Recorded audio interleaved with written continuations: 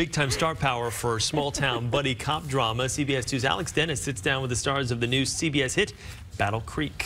Big smile, big Josh Duhamel and Dean Winters star as mismatched detectives in the new CBS show Battle Creek.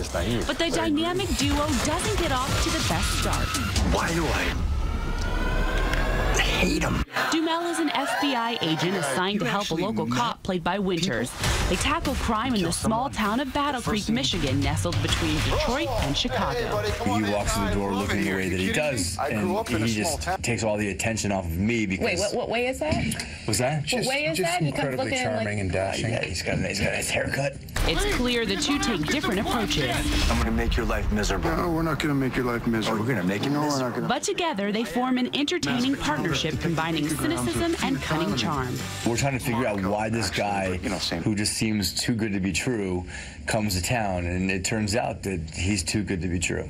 The guys wouldn't dish more in the details, but they did share with this mother spy tips I should use at home. And if you decide to do some sleuthing, you know, mm-hmm. you could always Place use that around? baby monitor to, you know, catch a criminal. I'll let you know how it goes next Okay, time I good. see you guys. Fair warning, I may be listening. In Midtown, Alex Denis, CBS 2 News.